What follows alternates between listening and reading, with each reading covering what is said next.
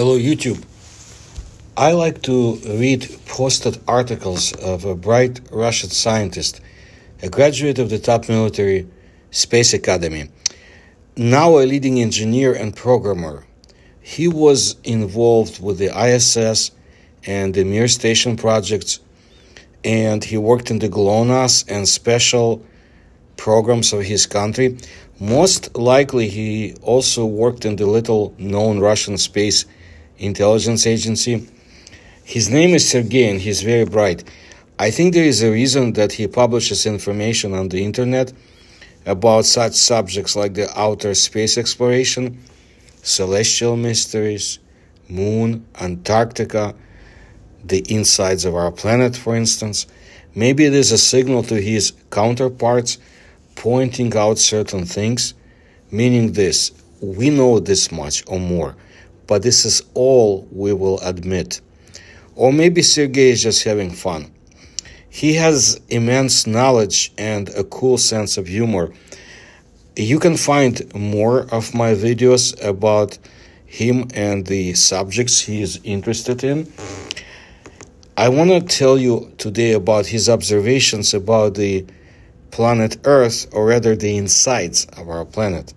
So our planet is not at all a solid piece of stone or rock that rotates aimlessly at some distance from its home star.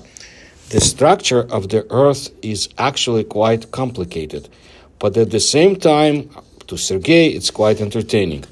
And the most interesting thing about this is that there's a core inside the Earth. Its diameter is at least 3,500 kilometers, about the size of our moon. That's the size that the moon has. The temperature of the Earth's core is almost 6,000 degrees Celsius. That is about the same as the surface temperature of the sun. And it consists mainly of iron and nickel. The Earth's core consists of two components a solid inner core and a liquid outer core located above it. How science knows this is a whole separate story, and we will definitely talk about this separately another time. I will leave only some hints here today, says Sergei. In fact, science still doesn't know much about the bowels of our planet. There are still a lot of unresolved issues. For example, why is the core so hot? Why is it hotter than it should be? Here's the thing when the planets, including our Earth, were formed 4.5 billion years ago, it happened as a result of a lot of collisions. Small pieces of matter collided with each other, eventually creating large planets. A lot of heat was released during these collisions. Therefore, all the newborn planets were very hot. And for such a large body, as a planet to cool down, it takes a fairly long time interval. Most of the heat in the Earth's core is the heat that has remained in it since its formation. Everything seems to be fine, but according to calculations carried out about what is happening inside the Earth, the core of our planet should no longer be as hot as it actually is. Scientists, of course, do not have a thermometer to lower it on the string into the core, and the assumed temperatures are the result of calculations and nothing more. However, using the data obtained during earthquakes, scientists know that the outer core must be liquid. If this were not the case, then the seismic vibrations caused by earthquakes would spread quite differently than it actually happens. In addition, if the liquid core did not exist, the Earth would not have a magnetic field. It is the flows of liquid iron and nickel that create electric and magnetic fields, which ultimately create the global magnetic field of our planet. Obviously, for the outer core to be liquid, it should not be too cold. This is where the contradiction between the observed effects and the calculations arises. After all, the latter shows that it must be too cold inside our planet for the existence of a liquid core. Why is that?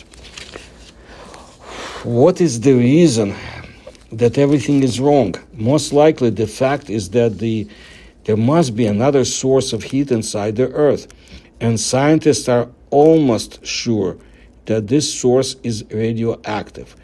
The fact is that radioactive elements, when they decay, they turn into other chemical elements while releasing energy. It is this energy that can be a source of additional heat in the bowels of the earth. It is possible that there is a sufficiently large amount of radioactive elements in the earth's core. It is this circumstance that allows the outer core to remain liquid and generate a global magnetic field. But is this really the case? After all, we cannot look into the core. However, there are enough signs that there really are radioactive elements in the bowels of the Earth. For example, uranium. Like other chemical elements, uranium in principle can be found everywhere in the universe. Some of the atoms that made up the original giant cloud of gas and dust that formed the sun and planets 4.5 billion years ago were uranium atoms. Therefore, it is not surprising that uranium is also found on Earth. Uranium mining is carried out all over the world, but we are interested in uranium, which is located in the Earth core. All theories say that there shouldn't be so much of it there to explain the excess heat, and this is also a mystery but perhaps just the formation of the earth did not happen at all as science believes.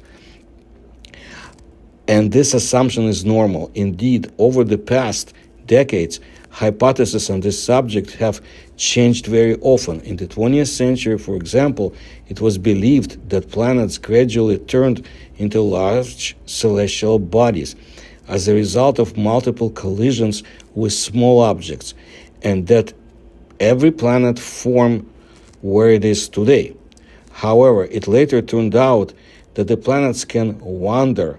Today, scientists are simply sure that the big planets did not form at all where they are today. The gravitational interaction with dust and gas that existed between the planets in the early days of the solar system could well change their orbits. And Perhaps with our Earth too, everything is not as simple as it seems, and it was not formed as gradually as previously assumed. The material from which the planets were formed was initially distributed unevenly. Its composition varied depending on the distance to the Sun. It was warmer closer to the Sun than away from it, and so there were fewer volatile substances, such as water and oxygen the farther away from the sun. But oxygen is especially interesting to us because it terribly likes to react with other atoms.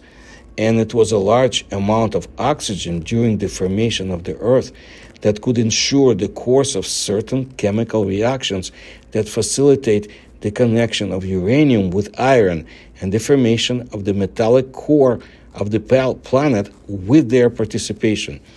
But the Earth formed too close to the Sun. For the process described above, it clearly would not have, have enough oxygen. At least that's what computer simulations show. And therefore, scientists have suggested that perhaps the formation of our planet took place in two stages. At first, the Earth, as previously thought, slowly grew, gathering from small pieces of all sorts of different materials sticks, branches, and waste products of interstellar animals. That's Sergei's joke. Meanwhile, in the outer part of the solar system, smaller pieces of matter were also not sitting idly by, they turned into large objects as a result of collisions. However, these celestial bodies had a different chemical composition than, that, than the proto Earth, which gradually appeared near the Sun.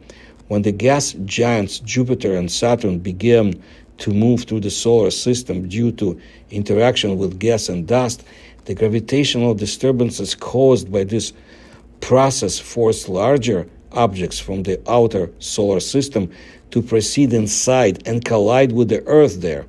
So the Earth could get its oxygen. But perhaps a completely different process took place. Some researchers are of the opinion that it's not about uranium at all, and that this radioactive potassium, in fact, is the source of heat of the Earth core. This hypothesis has been around since the 1970s, but only since 2003, thanks to some experiments, it has been possible to understand how this can work. Scientists managed to simulate the conditions inside the Earth in the laboratory and show that radioactive potassium can actually pass from the siliceous material of the Earth's crust and mantle into the metallic material of the Earth's core. But whatever it was, we should be happy that everything happened exactly as it happened. After all, without the magnetic field of our planet, life on it would not be as comfortable as it is today. Perhaps life as we know it would not have happened or would not have appeared at all. The magnetic field is our shield against aggressive cosmic radiation. It protects the Earth's atmosphere from the solar wind, which otherwise could have carried it into space a long time ago, as happened with Mars.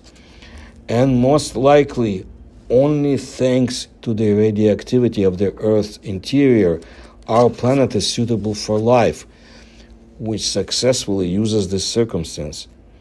Wherever it, this life came from in this world. That's how Sergei concludes. And um, decide on your own. But his ideas are very interesting.